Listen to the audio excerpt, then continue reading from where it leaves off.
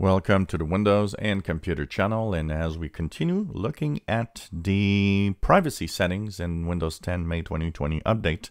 And by the way, a lot of these settings are the same for the May and November 2019 update.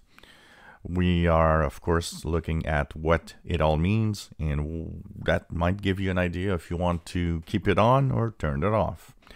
Go into your settings app either by the bottom right in the quick actions or Start menu, and Settings gear, go into Privacy.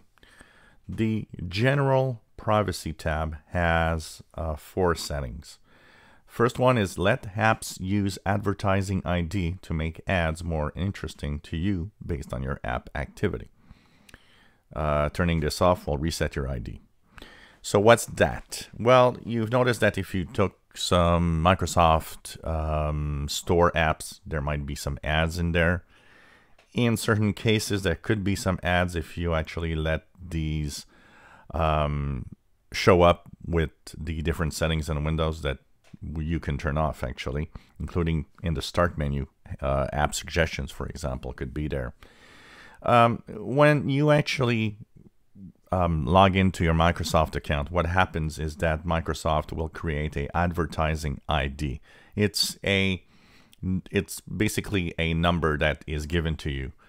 That means that the ads for you are, of course, um, based on the activity you have. So, for example, if you go online and check golf stuff and you play games that are golf games and you know, don't be surprised that everything related to golfing might show up in different um, ads around the system.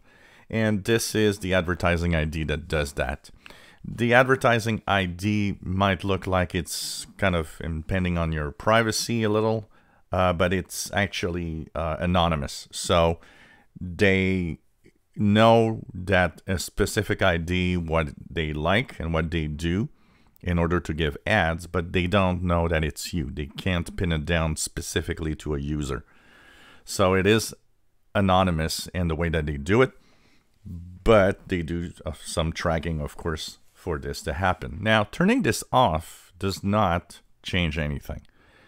Turning this off will simply mean that the ads you have will be random instead of being specific to your activity. So basically, you still have ads. It's just that the ads won't be tied to your activity because by turning it off, you won't be uh, or won't get a specific idea uh, ID to to kind of you know send you the ads that they want. So you'll be at you know seeing random ads rather than regular ads. So if you're turning this off to remove ads, it doesn't work. But if you're turning it off because you want a little more privacy, that will work because it will kind of not really have a tracking. It will reset every time you turn on your computer. The second one is let websites provide locally relevant content by accessing my language list. So this means if you have a PC, for example, I speak French and English. Of course, I have both languages installed. That means if I go on the web browser, like I use Microsoft Edge, I do some online stuff. Well, you know, from time to time, you notice that some online websites, some websites will ask you if you want to, you know, uh, the, the uh, website to get your location. Because, for example, if you're on a weather website, your location is very useful in knowing what weather is going to give you. So when you do that, um, if you go online shopping, for example, maybe you're searching for some good pizza.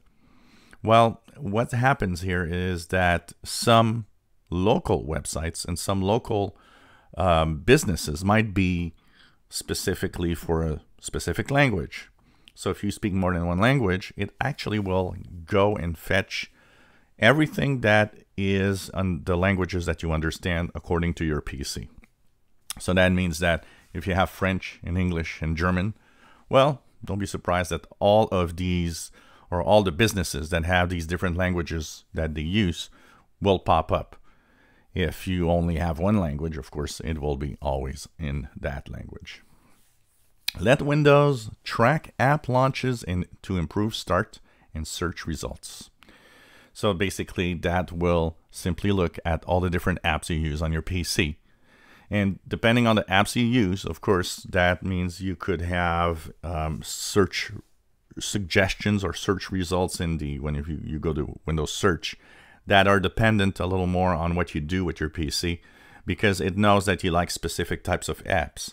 So if you're just gaming all the time, well, you might have search results that are more into gaming and gaming PCs and, and stuff like that, where um, that's why they actually do this. And you can, of course, turn it off to uh, not track app launches or anything that will stop the tracking for the apps.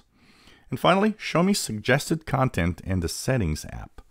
So this is dependent on what you do once again. So the suggested content depends on what you are going to search for the settings and will be um, suggested upon your usage of the computer also at the same time. So that is uh, something that you can actually pop in the settings and say, well, you know, you've been doing this. We have this that could be uh, relevant to what you're searching for and so on. Once again, all of these are tracking you in some way. So one of the things you could do, of course, if you want to minimize tracking in Windows is to turn them all off. Remember that the first one, it's still going to give you ads. They'll just be random rather than specific.